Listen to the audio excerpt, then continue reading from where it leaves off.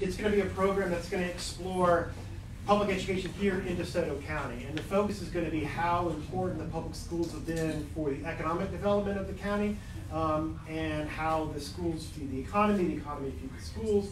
Uh, Tom Pittman from the Community Foundation has helped us put that together. Uh, and on that panel will be Jim Flanagan, Cory Uselton, and Corey Haynes tonight. Thank you. Um, so please join us. You'll hear more about that, but uh, we hope you're able to come.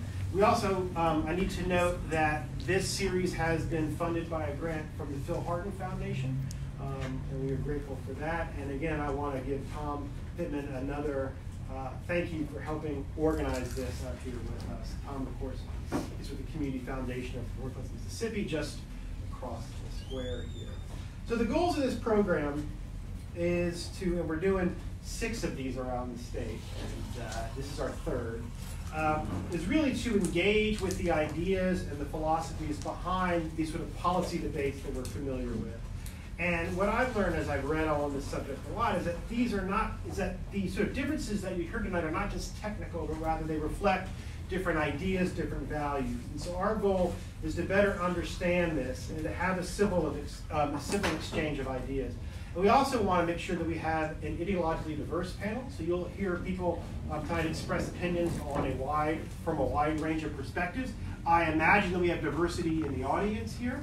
And so our goal is that we um, listen um, sort of respectfully and that even if you hear things that you don't agree with, that you still um, seriously listen to um, and, um, and to consider those opinions. Uh, we will have time at the end for audience questions. So if something, if someone says something that really gets you fired up, you'll have a chance to uh, share that. Um, let me introduce our panel tonight. Um, to my right is Nancy Loome. Nancy is the executive director of the Parents Campaign. Their vision is to engender a public education system that affords all students excellent public schools so that children can become what they dream. Their mission is to ensure a brighter future for Mississippi children by promoting better public schools through parent advocacy. By giving parents a means by which their voices can be heard, they are working together to change our state for the better. That comes, again, I'm sort of quoting from their official statements there. Uh, next to Nancy is Grant Callen.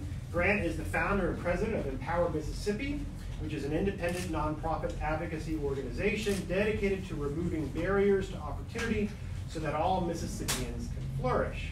Empower believes that Mississippians should have um, an opportunity to make choices that improve their lives, and they envision a Mississippi where every child has access to a high quality education, and parents have the freedom to choose the best educational setting for their children. Um, they have also been very active in working for, for, for, for criminal justice reform here in Mississippi. And uh, at the far end of the table is Rachel Canter. Rachel is the executive director of Mississippi First, Mississippi First uh, champions transformative policy solutions, ensuring educational excellence for every Mississippi child. They are dedicated to advancing the best education policy ideas through research and analysis, public awareness, and issue education, advocacy, implementation, and evaluation. So please give a hand to our panel. Um, all of them came up from Jackson, so we are very appreciative of that. Um, so uh? Um, so since uh, uh, I'm a historian by training, and I do want to take just a few minutes at the outset to give a little bit of history um, of public education in Mississippi, I think it'll help put this conversation in context.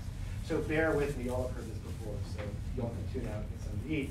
Um, the question of public education really goes back to the earliest white settlement in the state. As early as 1802, pre-statehood, there was an address given by the territorial governor W.C.C. Claiborne, which he calls for a system of free public schools.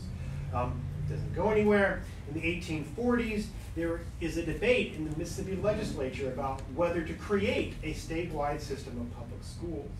Um, although the resulting plan failed largely due to their unwillingness to raise taxes to pay for it.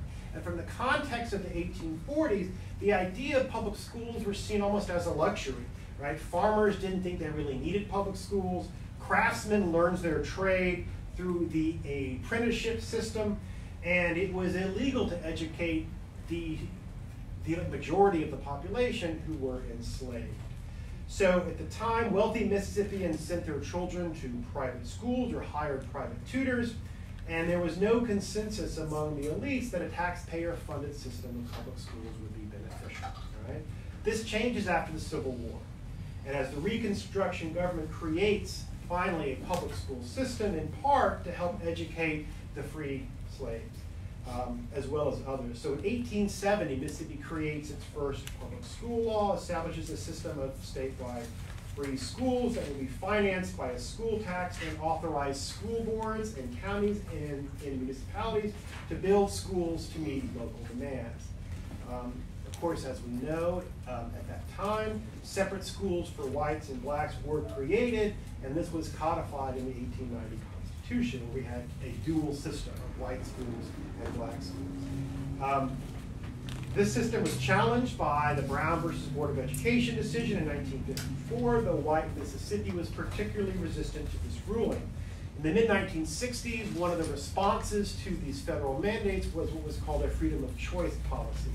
Um, and it was a way of, in a sense, preserving segregation by giving each family a choice at which school they went to, but in reality, oftentimes blacks stayed in black schools, whites stayed in white, I mean, blacks stayed in black schools, whites stayed in white schools, and there were social pressures brought to bear to ensure that was the case.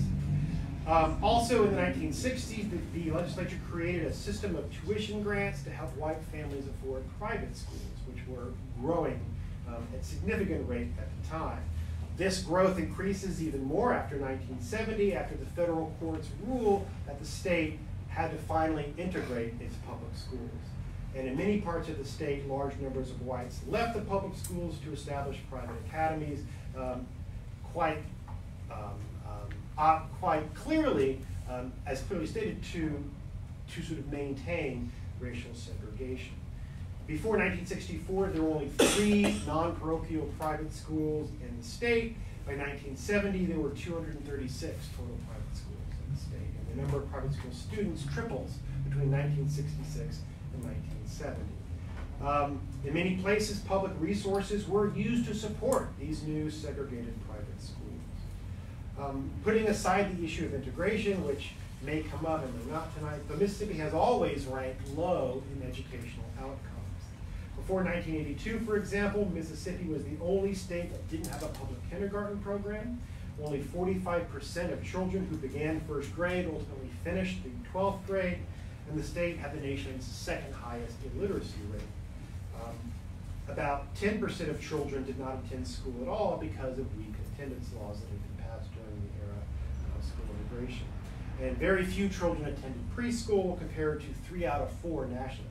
Um, um, I think um, only one in 20 children attended preschool at the time. Uh, the Educational Reform Act of 1982, which is looked back upon as this great achievement, but what people need to understand is it was a tough fight, and there's been documentaries done about this. And so the idea that it was, well, of course they would, you know, improve this. Um, it, it, was a big battle, and it barely passed during a special session, and it worked to change this. And so the question of raising revenue to improve public education has always been a fight continues to be. Um, in 1997, see I'm jumping forward quickly, I'm almost to the end. In 1997, there was the Mississippi Adequate Education Program, uh, which was passed to help raise student achievement and to lessen, decrease the funding divide between wealthy and poor districts. And we'll talk a little bit later about how successful it's been in doing that. But it's created a funding formula um, to help ensure what it called a basic adequate level of school funding. And since the formula's creation in 1997, 22 years ago now, the legislature has fully funded the formula, I think, twice. So, so again, this helps kind of set the ground terms of our conversation um, tonight.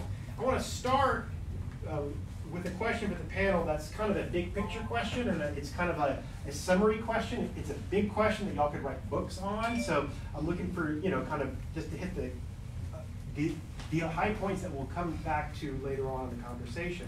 But give us a sense of your view of the state of public education in Mississippi today, and how do we make it better? Do we need to make it better? Who wants to start? Um, we, we are making it better. Um, we've been improving for years. For, for a couple of decades, Mississippi has outpaced the rest of the nation, the, the, the national average in improvement on our national test scores. So we've been improving for a long time. And recently that improvement has accelerated a little bit. Um, and so we are improving. We need to keep improving. And, and some of that, um, is gonna take some additional resources. We know, we know what works.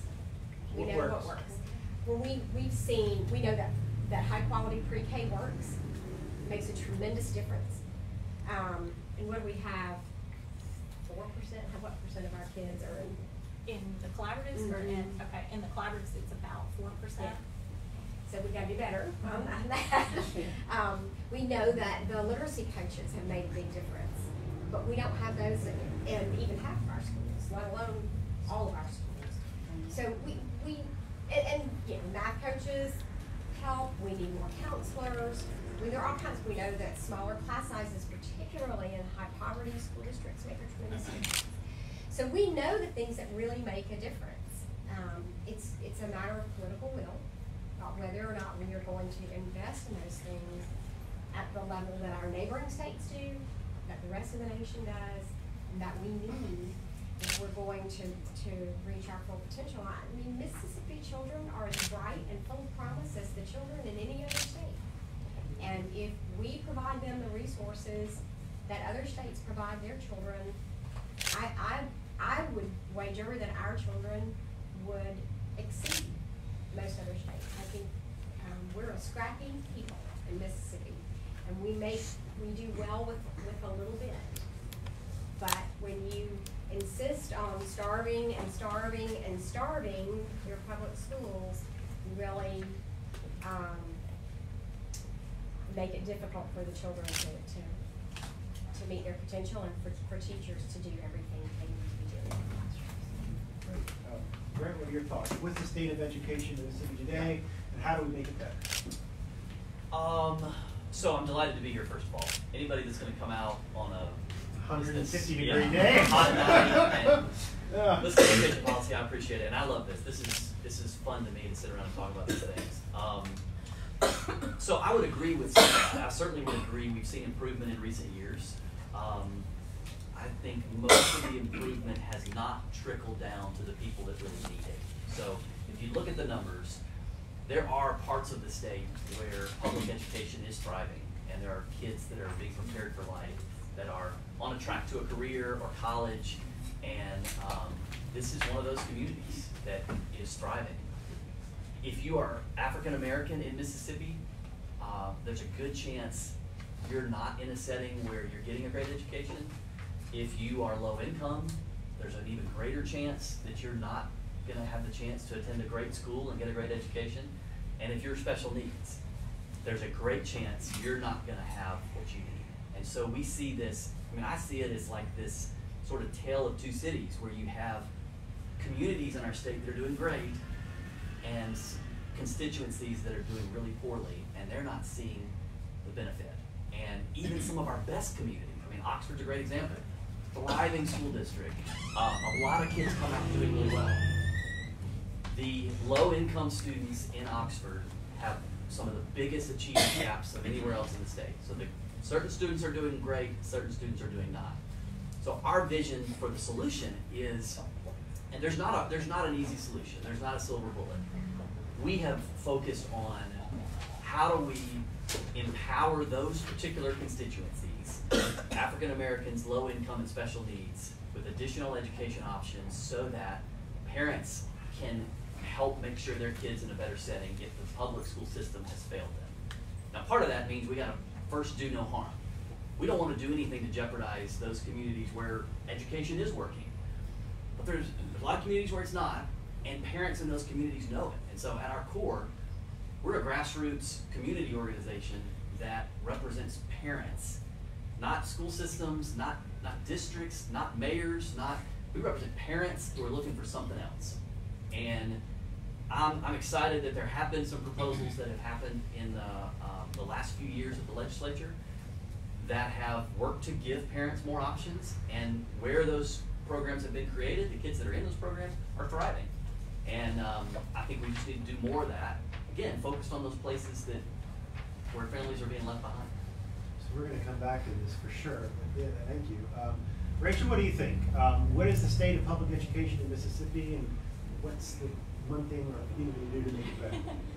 So I run an education policy nonprofit, so I think about this all day, every day, what we should do to make the system better. Let me first start with some of the things that Nancy and uh, Grant said about whether or not we're improving. So there's something called the National Assessment for Educational Progress, NAEP. It's also known as the nation's report card. It is the only source that we have of comparable student achievement data across all 50 states. And the longitudinal NAEP study has been going on since the 1970s. And then they have something called the short-term NAEP that's also been happening for the last couple of decades. So we have a lot of data over a long period of time.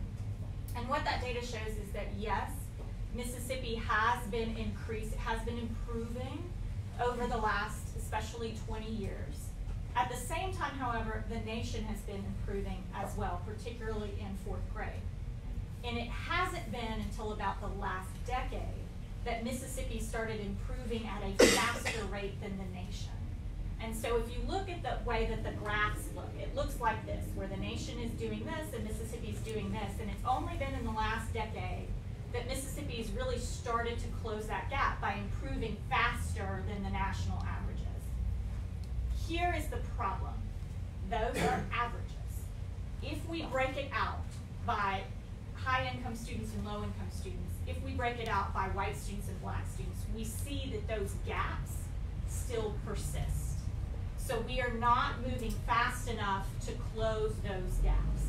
So even though the state is improving, even though we are improving at a rate faster than the nation, which is what we need to do to close the overall gap, we still have big challenges, particularly in mostly low income students, particularly with students who are not white. So that's good news and bad news. What that says is that we are doing some things right. We're just not doing enough of those things for enough.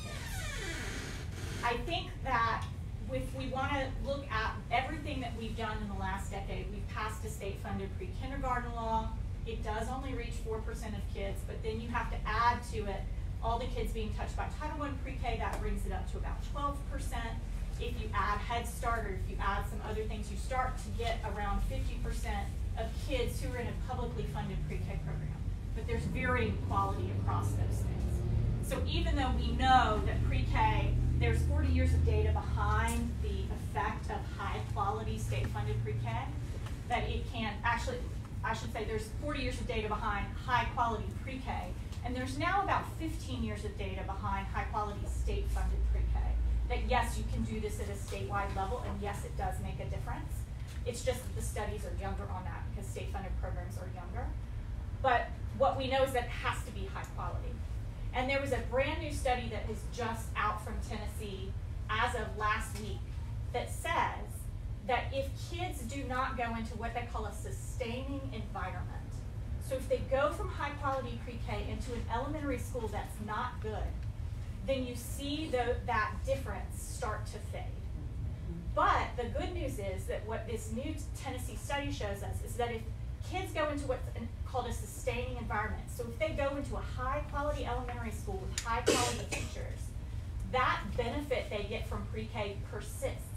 They do better than kids who are also in high quality elementary schools but who did not go to pre-K, which tells us that yes, you do get an added boost and it does continue if you go into the right environment. So what does that tell us?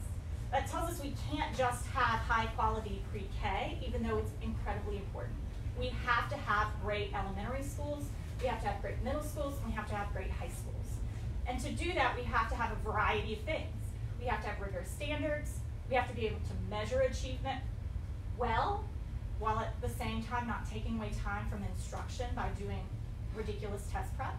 We have to make sure that our teachers are prepared, are they're knowledgeable about their content, they have high quality curriculum that they can use to teach. And we have to be able to know that they're going to be led in schools by leaders who are not gonna make them wanna quit their jobs because of all the ridiculous things that they may be asked to do. We've got to fund that kind of system. And so that, those are the things that we work on at Mississippi First to try to make the system better. We try to think through, what are the big policy levers we can pull? How much is it gonna cost? And when the rubber meets the road in a classroom, is this actually gonna work for a child and a teacher? And we try to think through those things. I think we have incredible signs of hope in our data and in our state, but I also think we have to work harder and we have to work faster. Um, all right, so before we get into the, the kind of specific questions, I want to try to go big picture, and this may not work, but let's give it a shot. Um, but thinking about um, sort of the big issues, um, sort of boiled down is we have, you know, grants talks a lot about sort of school choice, um, ESA, voucher program, um, charter schools and other reforms, this would be first, and Nancy was pretty much, you know, um, increasing funding for public schools and not use public money for private schools. Um, and trying to understand the differences between those philosophies and thinking about the idea of individualism versus the common good, right? The idea behind the creation of public schools is that they serve the common good, right? So even if you have um, if you don't have any kids at home, you still pay taxes because a good public school system serves everybody in your community. That idea. Um, whereas the arguments that I've seen for school choice often seem to rest on the idea of individuals. What's best for my kids? My kid needs a better environment so that she can learn, and so I'm going to do what's best for my for my child. And that that philosophical difference to me seems to be uh, undergirding a lot of this. And so, is there a way to balance individualism with the notion of the common good and how should our government education policy uh, address those issues of individual choice versus the common good? What should be paramount? Philosophical question. I promise we're going to get more specific after that. You want me to start again? Any, you know, I'll anybody want to jump in? I mean, I'll I'd be curious about Grant's take on this. Sure. Um, I don't think we have to choose, and I don't think we should choose. Um, the reforms that we support do help individual people who are being left behind. But we are not going to support something that we think will have a detrimental effect on the common good of the whole. And so, whether you're talking about charter schools, whether you're talking about education scholarship accounts, both of these are vehicles that have mountains of research to show that not only do they, over time, help the kids that opt into those, but they also help the community. And we could look at state examples of um, where Florida is a great example of this. We've talked about this before. Florida, uh, 15 years ago, didn't have a lot of choices, and they created a, an array of choices between charter schools, vouchers, uh, tax credit scholarships, ESAs, and in about 20 years, you've seen their public schools skyrocket in their performance. Um, today in Florida, excuse me, today in Florida, 46% of the kids in Florida attend a school not the one they're residentially assigned for. Now, ton of those kids, the vast majority are still in public school. But they may be in a public school across town, or they may be in a public school around the corner, or they may be in a charter public school, or they may be in a private school using a, a choice vehicle.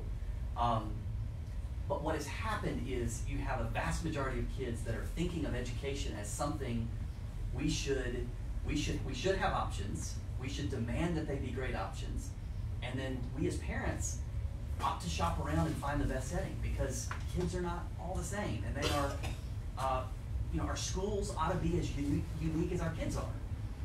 Um, so what you've seen in Florida is as at the same time they've introduced an array of choices, empowered parents with all kinds of different options, their public schools have skyrocketed in their achievement, and Florida has seen some of the biggest gains in their in closing the achievement gap between their students of color and their traditional white students. And so our goal is not that you have to choose between those two. I think if we simply focus on the system and averages and seeing the average of the state lift, you're gonna end up leaving people behind who say, I don't care about the average, I care about my kid. My kid is a third grader and he doesn't know how to read because he's in a setting where they're not teaching him to read. And if we're just worried about averages, he's gonna get left behind. So we gotta do some things to help the whole system, at the same time and provide some, some options for the families that are not being helped by that system. I mean, Nancy, you know, um, Amanda, you feel strong about the idea of the common good and schools should serve that role. Talk a little bit about. Right, and what we know is that we, we have a public education system because we know that when we have an educated citizenry, everyone does better. Quality of life for everyone improves. And so that's why we all pay in to that system to make sure that all people can become educated and productive citizens. Um, and we know that when we start to chip away at that, it becomes extremely, first of all, it becomes extremely inefficient. Okay, we, we can't afford to have a school for every child, right? I mean, that's just not efficient. That's why we all pay into one system so that we can have something that's good for everyone. And we also know that when you start to chip away at it and say, well, here's yours, you take it and go over there, and here's yours, and you take it and go over there, that's when we start to see the very, very dramatic discrepancies between the haves and the have-nots. And so we're really not talking about whether or not parents have choices. In our country, parents do have choices. What we're talking about is what we as taxpayers pay for. Those are two different things.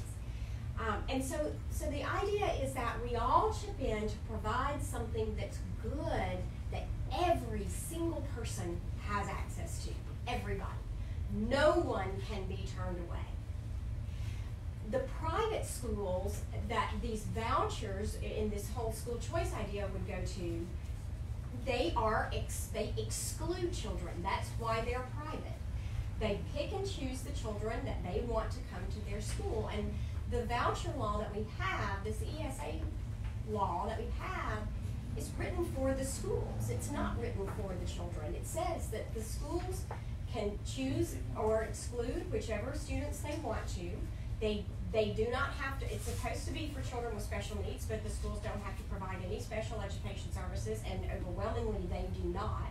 In most cases, the public schools go into those schools, which is so interesting because these parents are saying that they're not being served well and they're public schools, so they need to leave and go to the private school that doesn't provide any special education services. So the very public school that they left came over is coming over and providing the services.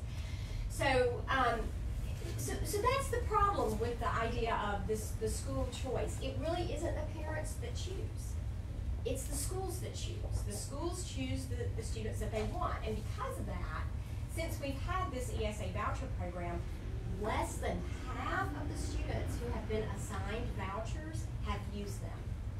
They signed up, they said they wanted a voucher, they were assigned the vouchers, but they didn't use them, and their parents told our, the, the PEER committee, which is like an investigative uh, evaluation committee uh, from the legislature, parents said that the reason they didn't use the vouchers was that schools didn't accept their children, the private schools wouldn't accept them, they couldn't find a school that met the child's needs, um, or the private schools also can charge tuition that exceeds sometimes dramatically what the voucher provides. And so some students' parents can afford to pay that difference and some cannot.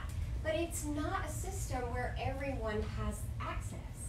And that is a problem, and I think it is a violation of what, what the public education system and what we taxpayers were told would be done with our tax dollars when we contribute to them for the public school system. It's supposed to be a system for everyone. And school choice is an exclusive system where some participate and some don't. And that's, it's not always the case. We're gonna come back to this point, I am sure. Rachel, what are you, I mean, you know, I'm struck, and this is a bit of a topic. So, you know, I live in Jackson, and I have friends who make the rational decision to send their kids to a private school. It's because it's a better educational option, and I understand and respect that decision. But I know that it, that Jackson Public Schools has suffered because so many people of our socioeconomic class have made that decision. So balancing the in, what's best for my individual family versus what's good for the common good is one that frankly I wrestle with a lot. So I'm Mhm. curious what your thoughts are. So, so, uh, let me first start with, I also live in Jackson. Yeah. I have a five-year-old and a three-year-old. My five-year-old started kindergarten last week in Jackson Public Schools. But I also want to say my five-year-old started kindergarten in a selective enrollment school in Jackson Public Schools. And the reality is that even in our public education system, we have schools that pick their children, just like private schools pick their children. And at Mississippi First, we support public school choice. So what that means for us is that we support traditional public schools that could be your neighborhood zone school. We support traditional public schools that have a different type of theme or environment or whatever, and we support charter schools as well because we consider all of those things to be within the public education system. The I think the reality is that if you talk to a parent, the parent who is trying to, who is looking at their neighborhood school, especially a parent who is not white and who's not high income, um, like me, and they might not be able to get their child in a selective enrollment school if one even exists in the community they're in. There might not be a public charter school, and they're looking at their neighborhood school and they're going, "That's it? That's all? I, that's all I've got?" And I under I, I understand and sympathetic to the argument of, well, why don't we just fix that school? But why don't we just fix that school is what we have been saying to those parents for the last 30 or 40 years. Why don't we just fix that school? And it's never children that look like mine that have to suffer through that. And so the reality is that we've got to do something different and we've got to be serious about it. That will probably look and does look very different on in, in different communities. But I very strongly believe that we should not be telling parents within the public school system that you are locked into a school based on the, the value of the house you could buy.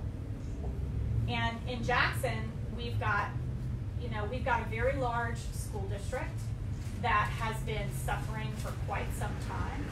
We've had multiple people attempt to do things to fix it. And although I am more hopeful than I have been in a very long time with the new superintendent that's in Jackson, I also know the reality for a parent is that your child only gets to go to fourth grade once. And we cannot tell that mama, just wait because so and so's here, and in five years, fourth grade will be better. When by that time, your child should be in algebra in ninth grade. And, you know, so I think, yes, we need to have an educated citizenry. Our responsibility is to children and to providing them the best possible school district that we can, to providing them the best po possible public option that we can. I think that we, we cannot just close a blind eye to people and say, well, you just have to wait. It's very easy to say that if you sit in a position of privilege and you've never had to really agonize over the reality of where your child goes to school every single day. And some of us are very lucky to live in communities where we don't ever have to even think about, we just send our child down the road to the school.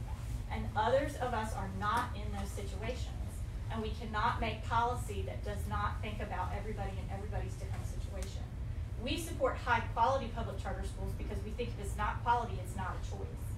And I think that when, when it comes down to it, a lot of the arguments that I hear for or against come into policy disagreements about whether or not the choice is a quality choice, whether or not the choice truly serves everyone. And I think that people come to the issue of choice from a philosophical place I think people come to an issue of, of choice from a practical place. And you can also come to it from a research-based place, which is there's lots and lots of data about charter schools now and about what works and what doesn't. And if we're going to have them, they better work. And we've, we've got six in the state of Mississippi right now. Five are in Jackson, and uh, one is in Clarksdale. And those schools, they have to perform or they will be closed. But I don't think that just that we can pin all our hopes on those schools either, because six schools is not enough to serve the 25,000 children that are in the city of Jackson, for example. We do have to make the city of Jackson schools better, but at the same time, we've got to figure out how to tell that mama with the fourth grade child what she's gonna do tomorrow when her child has to go to school. So yeah, I I I understand what what I understand the argument for or against, but parents parents parents may say they believe in a common good, and they may, but when it comes down to their child, they very much believe that what, the, the number one thing, we cannot ask parents to sacrifice their children for a philosophical idea. And for too long, we have asked certain parents to sacrifice their children for a philosophical idea that other parents have never had to face that. And so when, when I hear people who say, we shouldn't have public charter schools, you know, we shouldn't have public choice options, then I, I'm always curious, have you ever been in that person's shoes? It, it is a very unique parent that would say, I'm willing for my child to have a bad education for this idea I believe in. I don't know the parent that would say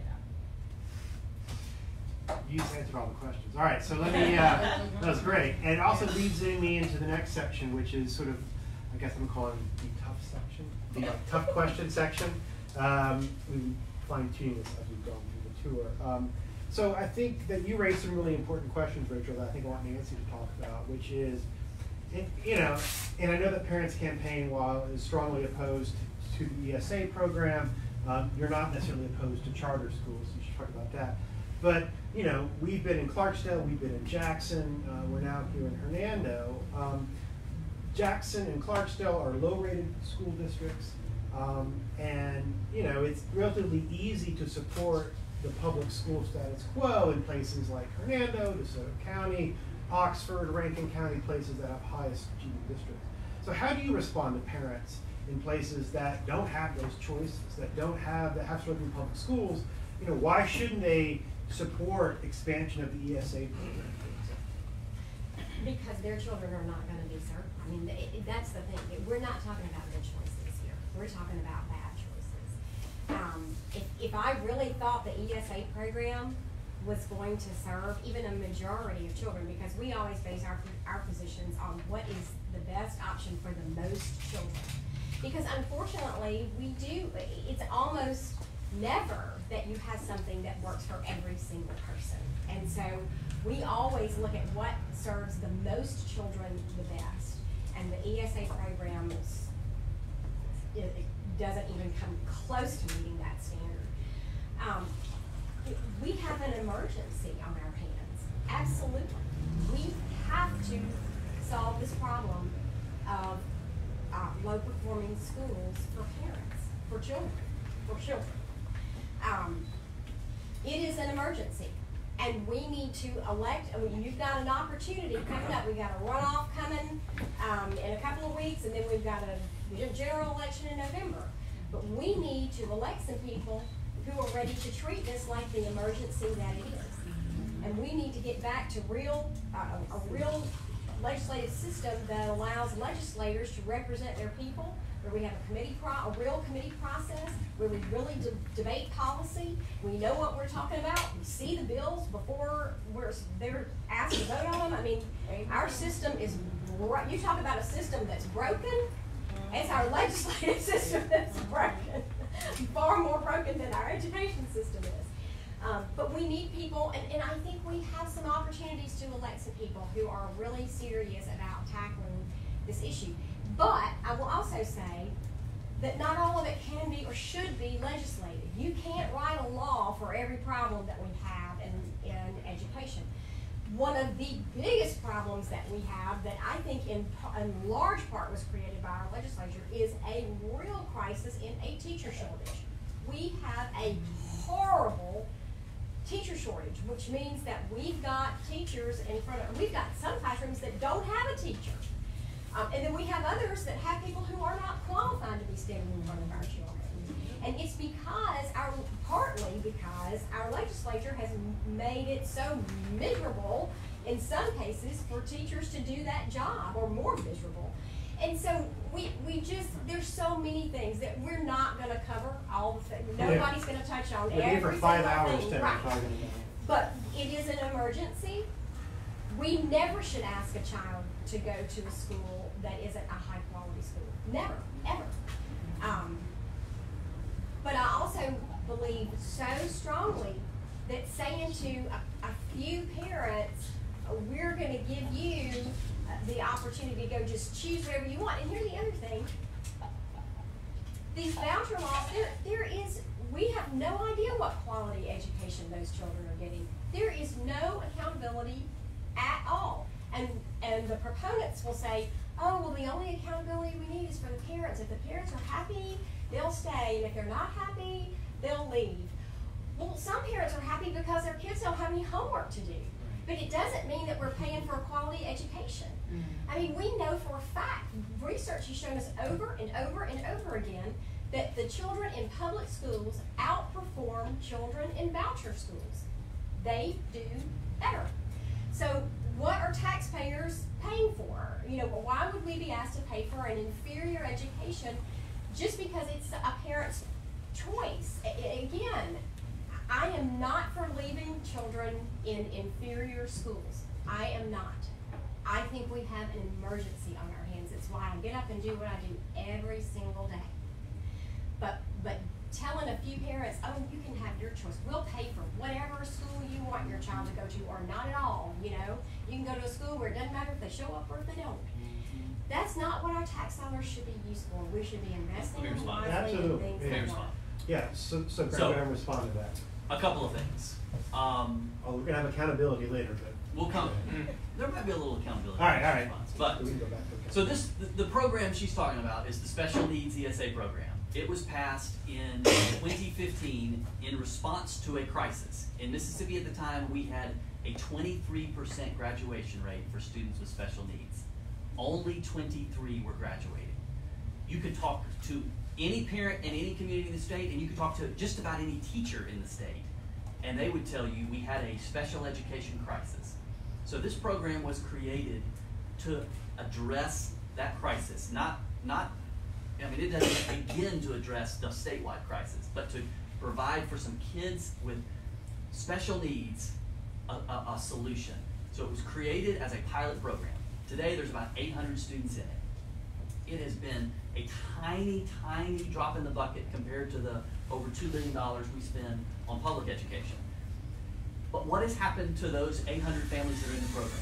Well, this program said, first of all, you've got to have an IEP to even be eligible, which means that's a public school definition created through the federal IDEA program.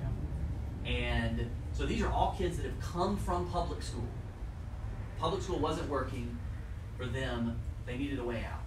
So what do we know about the program? Well, there's about 800 families in it, 800 students in it. Uh, they're being served at over 90 different private schools around the state. They're not being served at one private school. They're being served at a range of private schools. There are a number of those families in this county that are being served.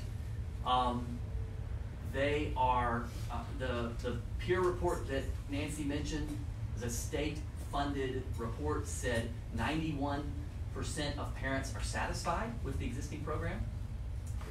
The, the method of accountability in our public education system around special education has not worked. It is bureaucratic, it is top-down, it is heavy-handed, it is, there's a mountain of regulations that districts are supposed to be following to make sure kids with special needs have their needs served. That system wasn't working. Kids were not being served. No amount of top-down regulation and red tape and forcing it, forcing it was working. They were falling through the cracks. And so this program said, we're not gonna do that system again under a choice umbrella. We're not gonna turn private schools into public schools. We're gonna trust parents. If the districts have failed you, and again, we're not talking about every district, we're talking about isolated places where, where they were. We're gonna trust parents to find a way to meet their needs. And so this program doesn't give private schools any control. It gives parents control. Parents control the dollars. They can choose a better school for their child, and they can unchoose a better school for their child. And they can shop around, and they can say, well, this school is a better fit for my child because it has this program, or it has this special service, or it has this, or it's closer to my home, or it's safe. They're being served at over ninety different private schools around the state. And But there is no accountability. I mean, There- your report found that there was no structure of accountability to make sure that those kids were progressing and the kind of testing requirements public schools face, private schools don't have. See, I jumped ahead to my accountability. Right. So this is where we get into that we have allowed the, the, the conversation about accountability to be very myopic and defined very narrowly. When you talk to a parent and you say, um, how do we ensure that your child is going to get a great education? That parent will tell you, well, first of all, I'm going to make sure my child gets a good education. And if they don't, I'm the one you got to deal with. Um, we've had parents in the ESA program who are, are pulling their hair out screaming because people are saying this program's not accountable. They're saying it's the most accountable of any program because if I don't, if my child is not getting a great education, I can take that, I can take my money and my child and I can go across the street. And they're doing that in places where parents have found that one setting was not the right setting. They can go across town to a different school. So I wish, I wish. Taxpayers? So- the ones paying the bill. So I wish public schools had the same accountability, at least some of the choice mechanisms that private schools have. The accountability, there's some, some base level accountability to taxpayers. First of all, only accredited private schools can, can qualify. Two, there's all kinds of uh, fraud mechanisms to make sure the money can only be spent on approved educational expenses, whether that's tuition or tutoring or therapy. So there's a lot of those kind of things. And at the end of the day, this is a test to see can we, by giving parents the, the, the charge of accountability, can we ensure they get a better education? I would be okay if there were a testing component in the ESA program. And there's been a, I mean, there was a political debate about it when it was passed in 2015. There's, there's been lots of behind the scenes debate about whether or not there ought to be a testing component. What I don't want to happen is what some states have done is where they have regulated it so much that all the best private schools in the state say, I don't want anything to do with that. And so then you, it becomes this program where only the poor performing or the bad private schools accept it. So you have to be careful that you don't overregulate, overregulate it. Louisiana did this. Louisiana added all of these requirements on, on private schools. They said you can only charge this much tuition, you have to take these state tests. Well, a lot of private schools, vast majority, don't want to take the state test because they see the testing crisis that's going on in public education and the hours and hours of test prep and the students that are stressed out of their mind. And they say, we don't want to do that. So they want a different model. Now, most private schools take a nationally norm reference test. They vary. There's a lot of there's a, there's a handful of those that most private schools take. Um, I would have no objection if the legislature decided to say kids in the ESA program ought to take a nationally norm reference test, and those test results sh- uh, should be included in the next round of PEER reporting. That's Yeah, I'd be fine with that. All right, um, so I forgot to ask you your tough question, Grant, so let me go for that one. Since That was. Nancy asked that. Yeah, I know. Um, and, and, and, and, and it has to do with transparency, and we've talked about this before. And, you know, I have great, you know, kind of respect for your coming out in these forums and, and making the case in a very strong way for your beliefs on this. Um, but sometimes it seems like Empower Mississippi is not always so transparent, um, and you can disagree on it in a second too. Um, I'm thinking about the last day of the legislative session in which expansion of DSAs was done in a very kind of quiet, surreptitious way. It was snuck into the bill. We voted on, it, people didn't know what they were voting on. It was done kind of behind closed doors. Um, and I'd be remiss if I didn't mention here, you know, up here in DeSoto County, that Empower has gotten involved in like political campaigns, Yep. kind of mailing things that didn't weren't you know that weren't about arguing the merits of school choice, but about other things. So how do you respond to those that transparency question? Why you know um, um, you know why isn't Empower always um, working to make that explicit argument for the value of school? Well, we are. We're, we we take every opportunity we get, which is why I'm I know. Thrilled to be in every corner of the state with you talking about choice Yeah. and, and, and, and ultimately how do we lift people that are not being served. Um, So why not debate that on the floor of the legislature and pass it through normal oh, procedure? uh, look, I, I I would completely agree with Nancy that our legislative process is broken. Yeah. Um, they don't have hearings. I wish they did. Um, the very fact that a chairman of education, one person, can sit on a bill that the entire rest of the membership would like to see out, would like to vote on, would like to pass, um, is not transparent. So the way this session came down, uh, I mean, like that, that happened this session. That's happened multiple sessions. The chairman of education in the House single-handedly stopped the rest of the membership from supporting any number of education bills. Um, that's not democratic. The way it happened at the end of the session was as much a surprise to me as it was everybody else. Um, the lieutenant governor was real transparent after the fact about what he did. He said, I had lots of families with special needs that came inside of my office and said, This is really important to us, and we've been accepted into a program. We're on a waiting list.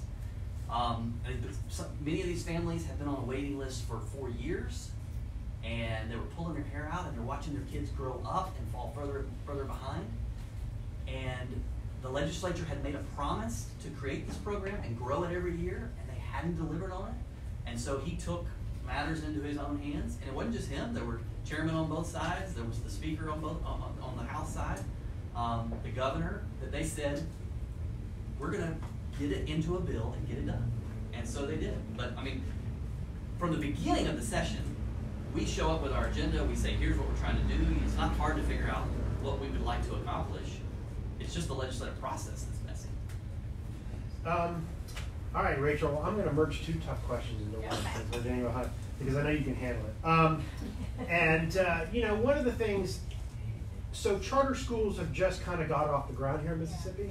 Um, they've been around for a lot longer in other parts of the country, and, and I've read things, and I'm sure I haven't read a fraction of what you've read, so you can push back on my premise. But, but I seem to be reading more articles that there's kind of like, people are kind of assessing whether charters have really been successful. There was the report that came out um, called Asleep at the Wheel, I think, about about how looking at those charter schools around the country that got grants from the federal government that helped come, and a, a significant percentage failed or never even opened. I think um, in Arkansas, 52% of the schools that got those federal grants failed within a few years or never opened. 57% in Georgia. So our charter schools, I mean, you know, what flaws are there, and how can we make sure that if we're embarking on a new system of charters in the city, mm-hmm. that they're effective, and we're not going to do what other states have done in terms of seeing this high failure rate. Sure. So Mississippi First is very explicit about our opinion on charter schools. We support high quality charter schools as I said before, if it's not quality, it's not a choice for us.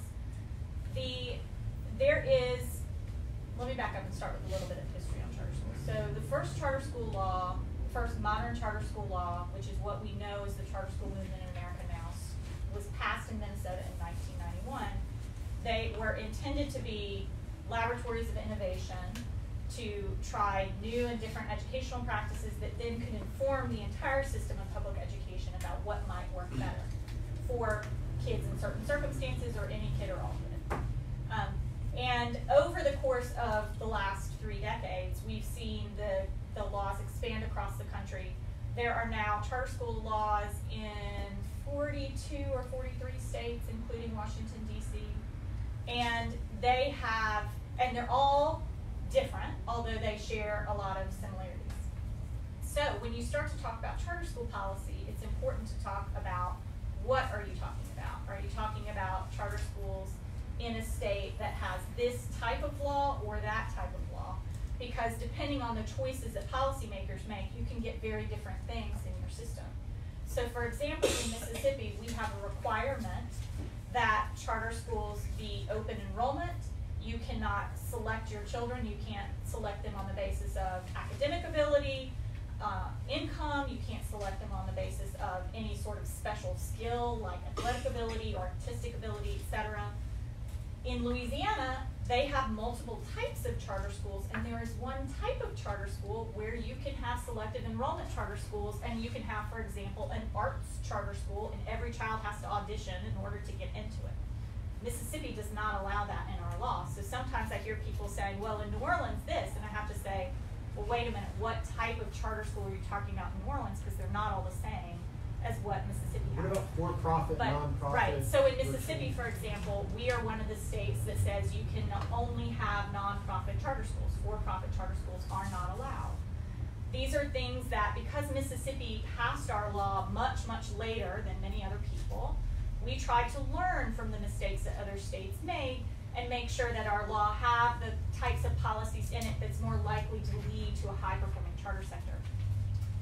When the charter schools first started, there was a big question around, do they actually work? Because if they don't actually work, then we're just replicating the dysfunction of schools that we already have. Why would we do And that? competing for the same teachers during teacher shortage. So, so there has been a lot of studies about this.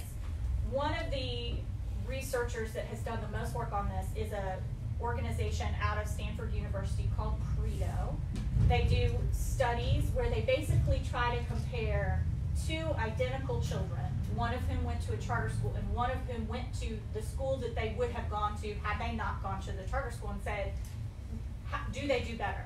Because you don't want to compare apples and oranges. It's not fair to compare a kid who is from a high income family who has every single advantage in life to a child who has very few advantages in life and say, okay, well, this child did better. That's not really fair. So, what they try to do is they do something called virtual twin studies. And what Credo found is that it really does matter what state you're in. Some states do way better than others, but on the whole, their urban charter school study showed that for children in urban charter schools, they outperform their traditional public school peers. And the effect is cumulative, which means the longer a child is in a charter school, the better they do. So they do better after the first year, but after the fourth year, they do a lot better than their Those traditional in public average school. districts or like low performing districts? These are in urban districts across the country. So this was the urban charter school study. These, and the, the finding was very strong.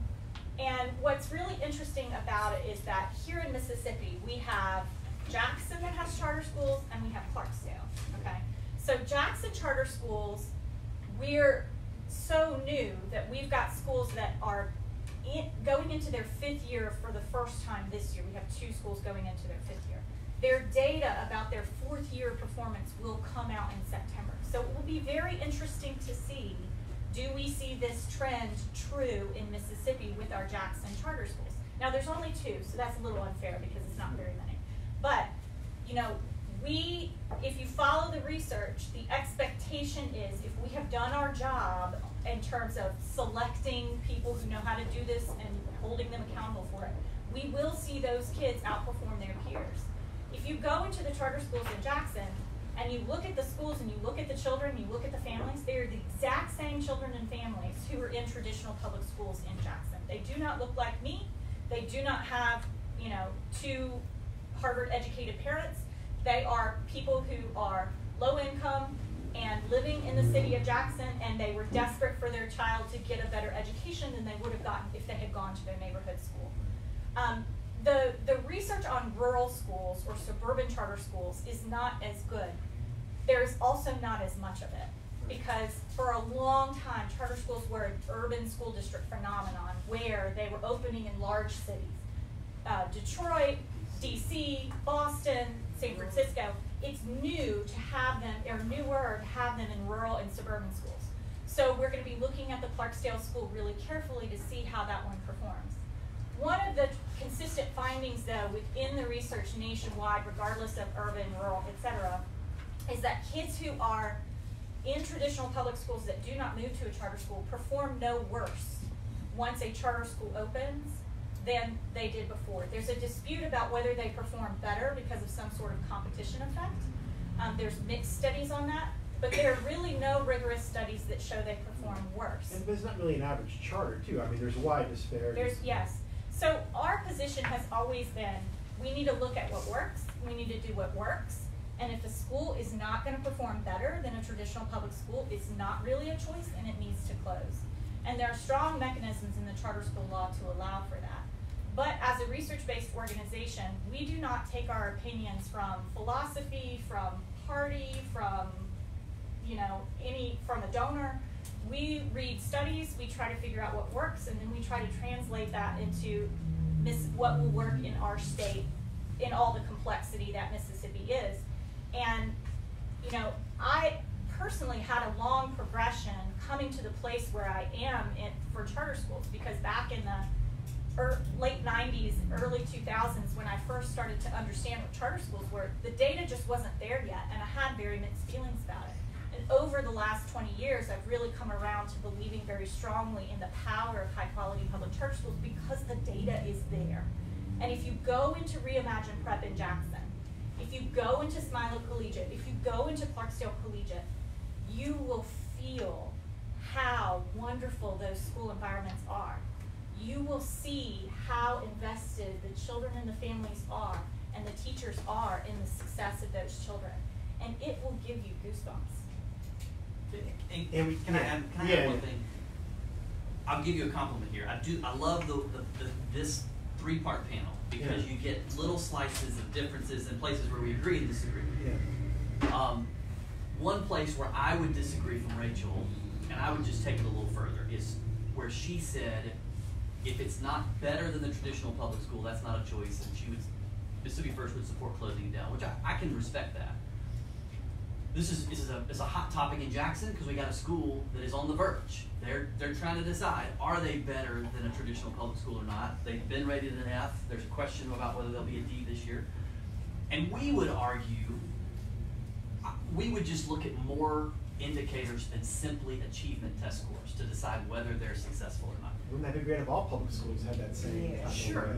Way? And, and, I, and I support that. I Yeah. would support our accountability Yeah. system having more Yeah, yeah, no, for sure. inputs than it does. That's the problem of like a single test and a single letter grade, and, oh, that school's a C, that school's a B, that school must be better, because it's one letter grade better, when it's so much more. But, the the, charter but if schools you are, look they're measured the same way. Yeah, I know, They- so they maybe are. the problem is that, so. so I'm not saying I, I'm arguing for them to be measured differently. I'm saying I'm Yeah. argued for them. I'd love to see public schools measured more broadly. Yeah. And the the way Rachel described the in, inside of these charter schools, it is that. I mean, it, it gives you goosebumps. And and each of these charter schools have a long waiting list of parents to get in. They're lined up at the door to get in. Now they're not selecting students, but if they they'll say we have 300 spots or 500 slots, and if you get 512, then 12 people are they're going to draw names out of the hat, and 12 people are going to get left out. But the very fact that you've got a long waiting list, high retention rates, amazing things going on in, the building, and achievement scores are not. Uh, there's only one school there's really even a question, and they're not. They're above Jackson Public. They're not a ton above Jackson Public. In my mind, I wouldn't dream of shutting that school down today, simply because the parents love it. There's a waiting list. There's demand for it.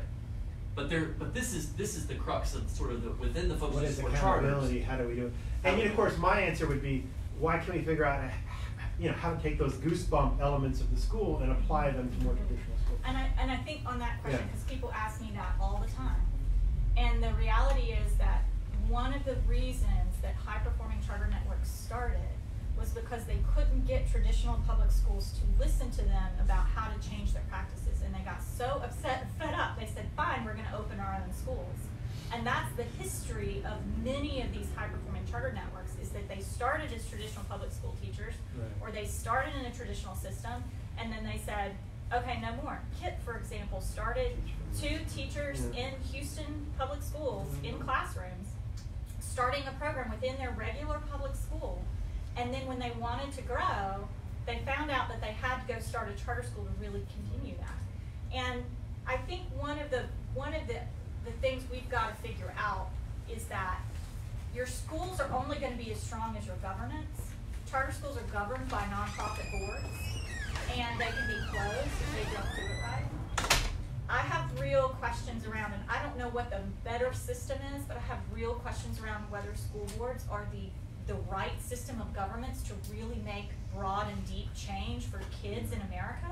I don't know what a better system is. I think nobody really knows. I think we're still trying to figure that out as a research question. But I think we need to be open to the idea that if we want great schools, we have to govern them well. Nobody wants to work for a terrible boss. If you walk in and you see some of these school board meetings and the district is a mess, you go to the school board meeting and you're like, well, that's that's why the district is a mess. Have you been here? It's like a circus. So we've got to figure out, okay, if it's not school boards, what is it? Is there a way to figure out how do we make sure that every single person from the very top to the very bottom is there for kids, is there to do what works, and is gonna do that in a rigorous way every single day and not be there because of power or money And that's or easy to do on a smaller scale than in a large system scale. And That's the challenge that And this is everybody's the trying to figure out. Right, and that's one of the things that I was gonna say too, is that a, a huge difference between charter schools and traditional public schools is that charter schools are allowed to limit their enrollment, and traditional public schools do not. And when you can keep your school tiny and small, it is so interesting, and, and again, we, at the Parents Campaign, we don't oppose charter schools. We endorsed the bill that passed, we we worked really hard to improve it. We, we helped to improve that bill a lot, so a lot of the things that Rachel said were the strong qualities of that bill, we insisted be in there. Um, but when you, when you have these, these systems where, that are so large, it's, it's, di- it's difficult to have the same kind of intimate feel that you have in a charter school. And, and so that is a basic difference that, and it's so interesting to me that some of the same people that um, advocate for charter schools also advocate for consolidating school districts. So they want our pu- traditional public schools to be bigger and bigger and bigger and bigger and bigger. But they want, and each of these charter schools is its own school district. So it's okay in their mind to have these tiny, tiny 200 student school districts that are charter schools, but they want all their traditional schools to be forced into these enormous systems. Mm-hmm. And and so I, I think we need to we need to take a serious look. We, we need to be serious about it. We need to be serious about it. This whole one size fits all. You know, we got to save money here, but it's fine to you know have teeny tiny schools over here. But I, I will just say that I think the question of scale is an important one. And yes, we do need to how to need to figure out how to do excellence at scale. I think we've got some school districts in the country that have figured that out better than others, but we don't really have like a really great example of There's no doing it at, at you know huge scale. But I will say that charter schools are actually limited by the state in the number of kids that they can take. In their contract, they have a number and they cannot have more than ten percent of kids over that number. They can't accept them. Um, and this has been true of charter schools for, since nineteen ninety-one, and actually it's because of traditional public schools want to limit the number of kids that can go to charter schools, and so as part of this whole system, they say, well, you can only have five hundred kids. So, you know, it's true that if you moved into a neighborhood and you had a neighborhood zone school and you had a child and they had 300 chairs and you showed up with the 301 child, they would have to find another chair for your child to sit because that's how zone schools work. Charter schools do not work that way, but it is equal opportunity in the sense that unlike a zone school where you have to buy a house to be allowed to go there, you get allowed to go to a charter school if you live in the school district and you have um, a child who's of the right age, and then you go into a lottery if there are more people who want to go. So yeah, there are pros and cons to these systems, but there's also a history behind why they are the way they are. They are, and I think that we have to. If you go into a school like Clarksdale Collegiate, you can see immediately there are things that should be transferable between that elementary school and other elementary schools. And no, Clarksdale Collegiate is one school, so it doesn't have the whole apparatus of a central office and a superintendent and a director of this and a director of that.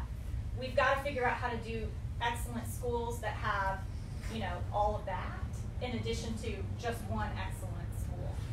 All right, well, I promised time for audience questions, so that means we're, we're gonna have to punt on equity till next time, but I think there's some interesting stuff to be done. But are there any questions from the audience? All right, It seems like money is a big problem for everything, but I'm a main Christian. I, something wrong with my voice that's fine, I can hear, um, I can understand you clearly. I want to know about the budget, I'm interested in DeSoto County, now that's where I live. All the students got children, grandchildren and great-grandchildren, but I'm interested in all of my children, our teachers and every worker in the building. Mhm.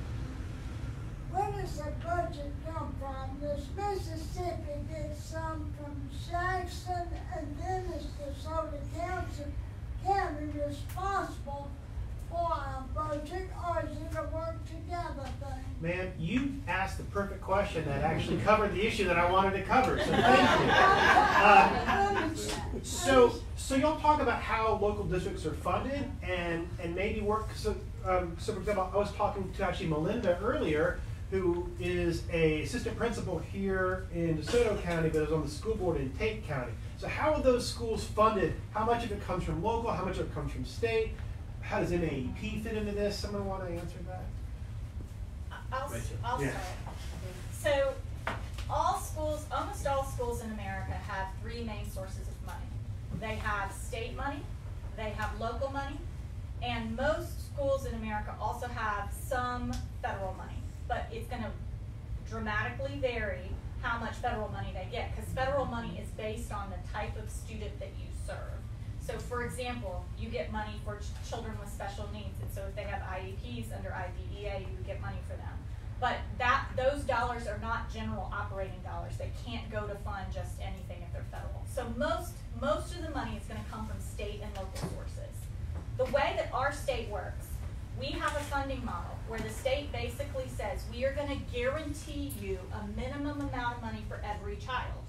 And then depending on the wealth of your school district, you're gonna have to pay a different portion of that state guarantee, depending on how wealthy your school district is.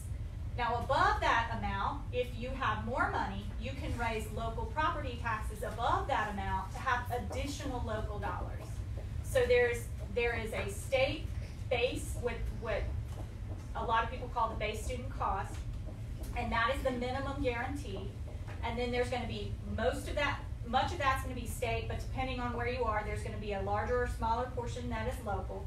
And then you're gonna have additional local funds. The reason that every child in Mississippi does not get the same amount of dollars for their education is because local wealth varies. And when I say local wealth, I don't mean, I don't exactly mean the wealth of students. I mean property wealth. Because we have some school districts that have very poor kids, but have extremely um, high dollar value property. And so you can tax the, the plant, for example, even though the kids don't, like their family might not be wealthy, but the school district has a lot of money because that plant has a lot of money. Here in DeSoto County, you have um, certain areas of the county that have like big economies where you know you've got the suburbs of Memphis, lots of people live here, there's lots of money here. Um, so you might have be able to raise more money than Coahoma County, for example. They're not going to have as much property wealth. They will not be able to raise as much money. The other thing on the flip side, though, is that DeSoto County has lots and lots of children. It's the largest school district in the state. And because of that, even though there's a lot of wealth, a lot of money here, it's got to go across all of those kids.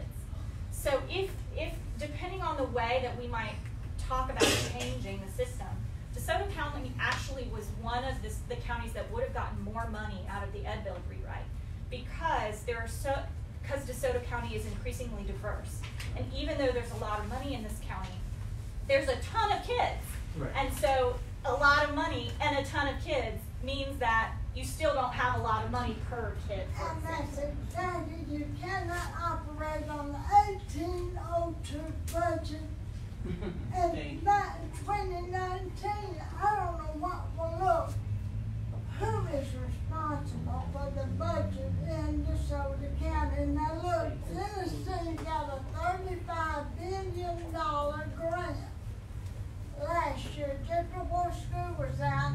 It was on the news and they announced and that can be used for metal detectors and scanners and y'all, all you talk about is, and there's all that great need. But if our children and the teachers and the workers cannot go to school and feel secure, So the, the that state, needs, that needs to be the top priority, and I tell you, my grandson goes to DeSoto Central. This is my son, this is his son, Yeah. daughter-in-law. They were out of town, they had that bomb threat. So he called him, you know, fifty, eleventh grader up got over there, and it's not a good feeling at all. They told the school it was fine, it's how they did a good way to get the kids out, but I'm just saying, he Well, said, school yes, safety- we do talk about it, we gonna get to go Yeah. home from school. But, but So if it's not security first. well, I'm a- school safety is certainly a national issue that we're all wrestling with in this in this time. Man, you had a question. Yes, so, uh, when I moved here twenty-five years ago, uh, there weren't any charter schools, but there are so many homeschool parents. And, uh, in my opinion, the move to char- charter schools is to answer the need that homeschool parents had to, uh, to take their children out of public schools, but still give them some kind of, an, uh, education. The problem that I have is paying for it. As a taxpayer, I think charter school is a business, and you should pay for your business and not ask the taxpayer to pay for it, especially when it comes at the expense of our public schools. So what do you have to say about that, that you are a business and you are asking the state to pay for your business? Well, thank you for your question. I think the way I would frame it is, by definition, in Mississippi, charter schools can't be businesses because our law says you have to be a nonprofit. So these are not people that are profit motive people. They're not people coming together because they're gonna make a profit. I mean, there's just, there's not profit involved. And all the money has to be invested back in the school. But other states, and not in Mississippi, but there's examples of people who are paying themselves as administrators Sure. huge salaries and Yeah. profiting Yeah. in a nonprofit. Yeah, that's, Yeah. and that's a horrible abuse of taxpayer dollars, and I'm Yeah. glad we, we do not have that here. Right, okay. So, I mean, so But there's no accountability in your system, just like homeschool kids are not tested to So- see if they so get an charter school- education. It's the same thing with the charter schools. I heard you say they are not tested. I So think No, they are, They are. they are, Charters are. they are, the charter Charters schools are. are. If they leave the school, the charter school and go back to the public school, then are they tested when they get to the public school to get in, like homeschool kids are tested to see where they, uh, where they uh, level out, or do they go to the same grade? So charter schools are just like traditional public schools, they take all the same tests. So if they leave a charter school at the end of third grade and they go to a traditional public school in fourth grade, they have their third grade test scores and they, it transfers. If you look at charter schools and charter school parents and charter schools, uh, families, these are, these are not homeschool families. They are traditional public school families who have decided that the public school that they're in is not serving their child and they're going to a different public school. It's just a charter public school. I think that maybe you might have some, some, um, misunderstandings around the difference between the voucher program that Nancy and Grant were talking about and the charter schools, because the voucher program is the one where we were talking about they don't have to be tested. But charter schools actually have extreme, extreme rigorous accountability. Not only do they have to take all the same assessments, they also have annual um, measures around their financials, measures around their organizational. It's all everything is a public record. They have to have public meetings. They are bound by not all of the same things that traditional public schools are, but many of the same things as traditional public schools. And if you're interested, and um, you know, not that I'm saying you should get in your car and drive to Jackson, but if you look at on the websites for the charter schools, there's the three charter schools run by Republic um, schools. There's a Midtown Public Charter School. There is Clarksdale Collegiate, and now there's Ambition Prep. If you go and you read about those schools, you'll see that they're radically different from what we're talking about when we talk about like a homeschool environment where there's no um, state requirements pretty much for anything in a homeschool environment. yeah. Yeah. Um, maybe one last question? I wanted to have clarified about who is responsible for setting up the DeSoto County Education, but who does that? So the state, the state money, that is determined by the legislature. They I'm vote on that. about And then who the, puts in the DeSoto County money, who set that? Who, So who the spends school it, like board- metal detectors? One. so the school board would decide what the budget is. They would give it to the supervisors to raise the Okay, taxes. so that's who sets it up, the school board. The board of supervisors. Puts a cap on the. And I'll money. tell you, ma'am, that um, next month we will be having our panel. we'll be focused exclusively on the DeSoto County schools. So that's, a, you know, a certainly good issue that could be brought up then. Um, uh, we've kind of come to the end of our seven o'clock. I appreciate your being here. Um, this was this is intended to be the kind of you know the kind of policy, larger picture type discussion. Our program September seventeenth really will, and. Just one. All right, you go. I don't want to talk in power and all because I'm sorry, you're exclusive. I'm, I'm sorry, okay? But you other two ladies, I have two words. It's called parents Thank you. and it's called good teachers. That's, that's your answer to all your problems. Parents, they're doing their jobs. And thank God I'm in Stowe County, we have tons of them. That make, that's what makes DeSoto County so great, and that's why we struggle with hate, okay? And good teachers. Well, and You you- talk about the, walking into the charter school and giving me goosebumps, it's because good teachers. And I, I'm proud to say I am Hernando High School, and we have some of the best teachers in the state the hallway, and it does give me goosebumps. But until we can make sure that the Clarksdales and the Tate counties of Mississippi have good teachers and parents, we're always gonna have a problem. I'm sorry, but. No, no, no, that's a good point. And, and sort of one issue that we brought up before, and we'll probably discuss again, is teacher shortage. And how do we attract good teachers? And one of the, and I shouldn't be on names, I won't. Thank you so much for One coming. is to pay the teachers. Well, for sure, for sure. paid like others. Absolutely. Well,